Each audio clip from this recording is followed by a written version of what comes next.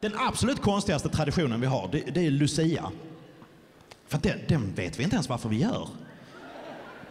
Nej men, ibland är det någon smart människa som säger, jo, ursäkta, det var, fanns ett italienskt helgon som hette Lucia och hon dog och därför så...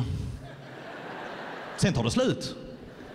Och därför så i Sverige, som enda land i hela världen, firar vi detta. Genom att sätta strutar på huvudet på våra barn. Helt vansinnigt. Alltså jag, varenda gång jag ser ett Lucia-tåg, jag är bara så, vad, vad, vad är det här för gäng? De hänger inte ihop. Där, där är ett helgon, en tomte, ett bakverk. Så umgås de privat? Är de... Eller man kan bara fortsätta ösa in grejer. Ja, en prinsessa, en anka, ett cykelbud, in... Det är ingen linje i det. Lucia, hon kommer, kommer tidigt, tidigt på morgonen. Goder afton, goder afton.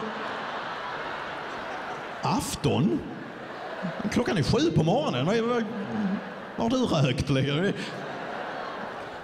Sjunger sånger, alla sångerna är helt obegripliga.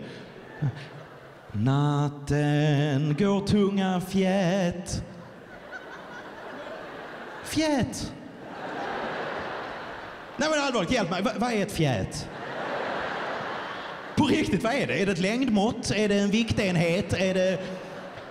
Försök att sätta in din mening. Det är så, oh, den här natten går tunga fjät. Tycker du? Ja, jag tycker den går lätta fjät. Jag upplever de här fjäten som lätta. Runt gård och stuva.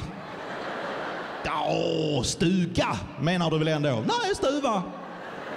Jag har en sommarstuva nere på Österlen. Det trivs jättebra. Skuggorna ruva. Lägger skuggorna ägg? Eller? Det är helt... Sång efter sång. Staffan var en stalledräng. Oh, vad spännande. Berätta mer om honom. Vi tackom nu så gärna. Ja, vad, vad tackar vi honom för? Han vattnar sina fålar fem. Man tänker, okej, fåle. Det, det är ett gammalt ord för häst. Han gav sina hästar vatten. Ja, hur så? Allt för den ljusa stjärna. Han såg en stjärna på himlen, därför gav han sina hästar vatten. Liksom inte för att hästar behöver vatten för att leva eller så. Han var bara, där är en ny stjärna på himlen. Nu ska hästarna få vatten. De stackars hästarna. Hästarna står uttorkade i stallet. Så, Jävla Staffan! Sämsta stalledräng vi har haft.